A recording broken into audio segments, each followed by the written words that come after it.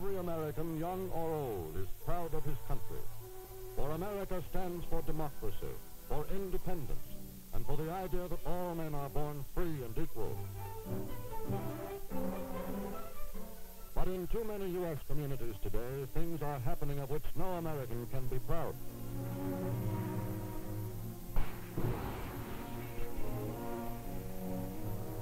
Police of this town ought to give property owners some protection.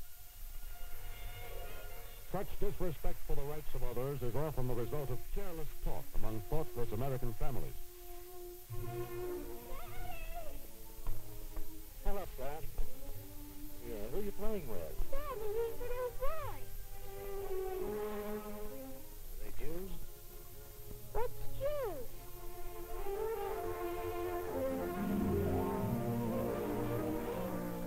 Who is this family that Johnny's been playing with? Is that new family across the street Jewish? Oh, yes, and he's been over there all afternoon. Are there any other kids on this block?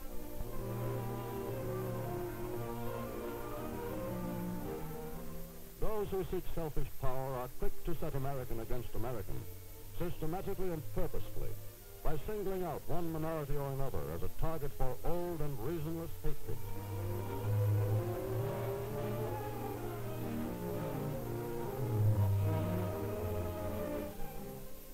Of Americanism, but in the spirit of Nazism, rabble-rousers spread doctrines closely resembling those inspired by Adolf Hitler.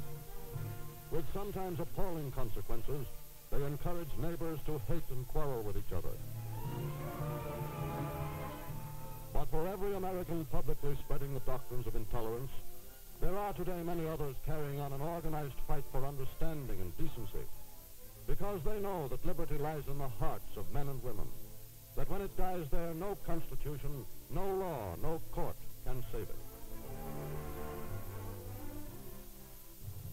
I will defend our fellow Americans against hate attacks and answer anyone who speaks along the lines of racial or religious hate. Do you also pray?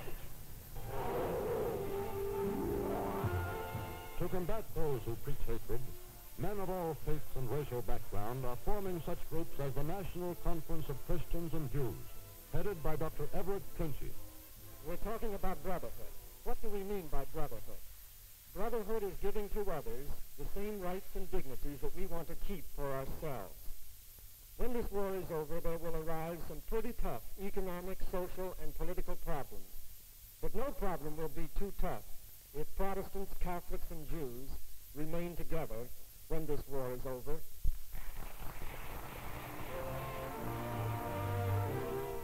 Appealing to the conscience and reason of civilians and servicemen alike, these organizations are receiving hearty cooperation from enlightened military leaders who know that fighting men must respect each other in order to work as an effective team. Let me suggest these precepts, which each of us might take to his own heart. First, don't generalize. I have yet to find a single group stigmatization which is correct. They're all false. Second, don't compare the worst in another group with the best in your own. It's dishonest logic, and it will not bear the light of fact. Third, have friends in other groups. Fourth, judge a man for what he is and what he does, and not antecedents. Throughout the land, religious leaders have joined the fight, aware that if any one faith or sect is in danger, no other is safe. One of the last official acts of the late Cardinal O'Connell of Boston was to issue through the press a solemn appeal to a nation which honors democracy. Uh, gentlemen, this is the statement drawn up jointly by His Eminence Cardinal O'Connell, Archbishop of Boston, and by Bishop Oxnam as representative of the Massachusetts Council of Protestant Churches.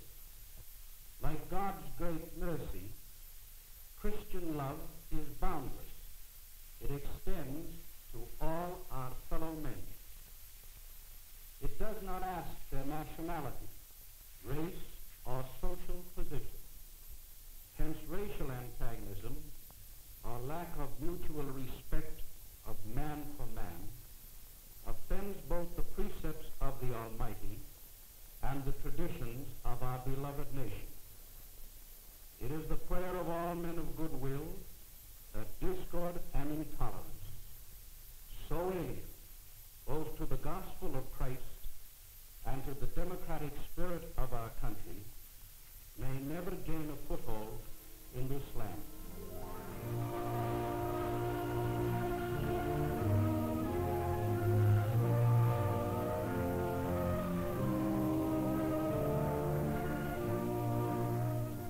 the time when the first Negro slaves were brought into the South, the status of the Negro has been primarily a Southern problem, one that Southerners feel they must solve in their own way without interference from the North.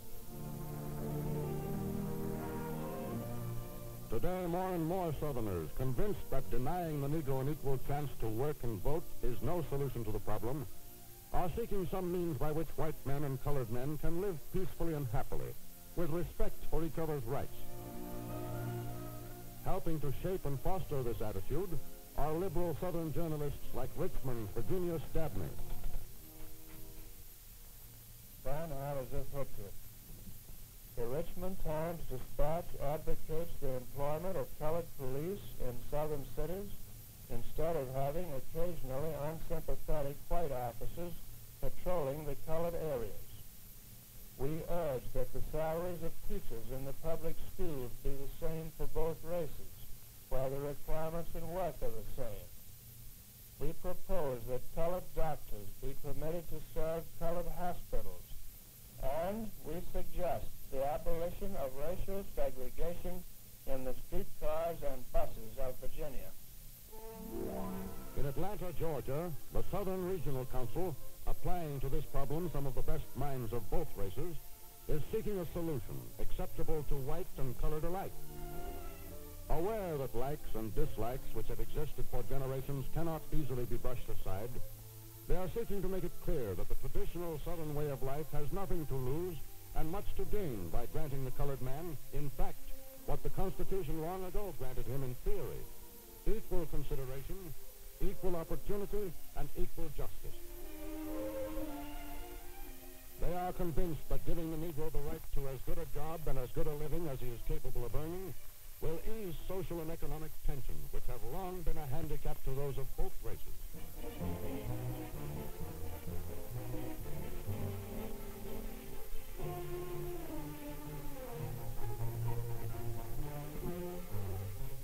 Today, Southerners in all walks of life are beginning to realize that this problem concerns their well-being as much as it does their conscience. True progress of the Negro is too often retarded by the fears and prejudices aroused by meaningless shouts for social equality. That phrase, social equality, means nothing. It never has.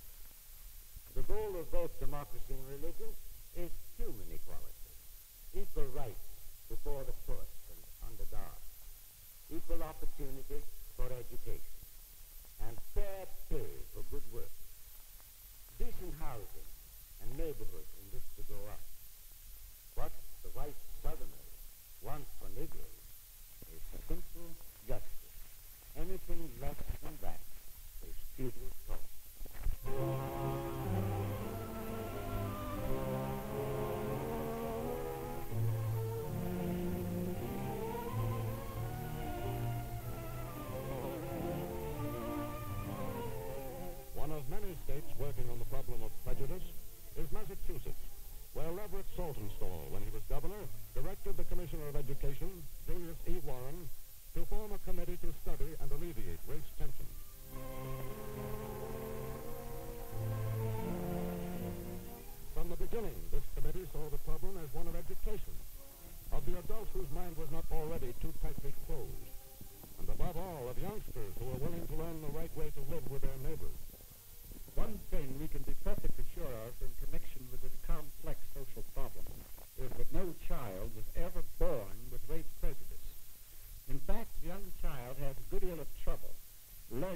take on the prejudices and hates of his parents and playmates.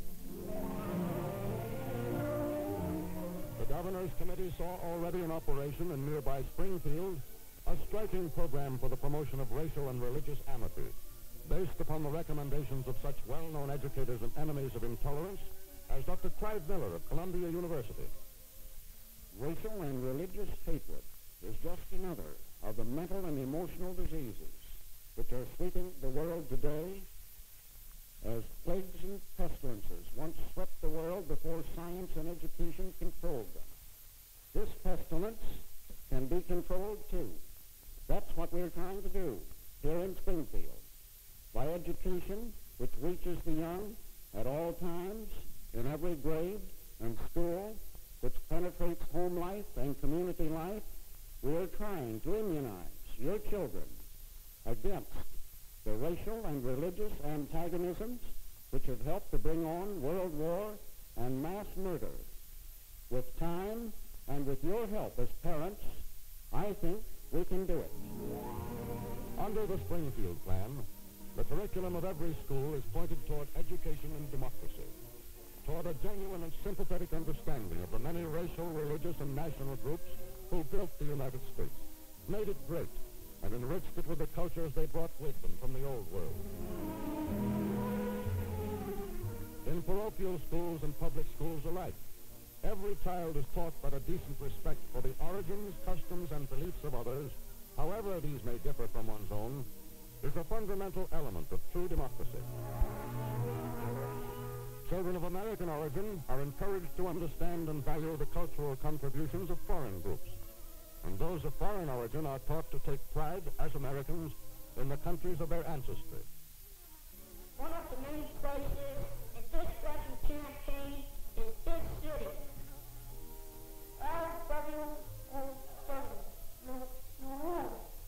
Teddy, perhaps there's someone in the room whose people came from home who can pronounce that word us. It's pronounced the book. My mother told me so, and she was born there. In geography, the emphasis is put on understanding peoples of other lands. Indian people. Some of them are white, some of them are Indian, and some of them are Negroes, and lots of them are just in between.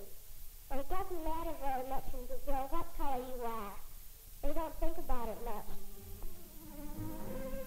Every pupil is encouraged to understand the worth of America over governments based on prejudice. Along the street and no one can persecute me as they did my aunt in Germany. The Nazis killed her just because she was Jewish. But every pupil also learns that his country is not perfect, that clear thinking and intelligent action by his generation will be needed to maintain its slow progress toward perfection. All right, then. We're all agreed that equal justice is another thing that's essential in democracy. Now, what else? Mr. Moderator, Janet? how about For instance, if we make the people of one racial group live in the worst houses and go to the worst schools and take the worst jobs, why, that's not democracy. Today, in such democratic experiments as the Springfield Plan, steadily spreading across the nation, men of goodwill find hope for a new and wider understanding of basic American principles. Principles only recently restated by Congressman Jerry Voorhis of California. Mr. Speaker, I have here a letter which one of my constituents wrote to his son, now serving in the Army overseas. And I would like to read it.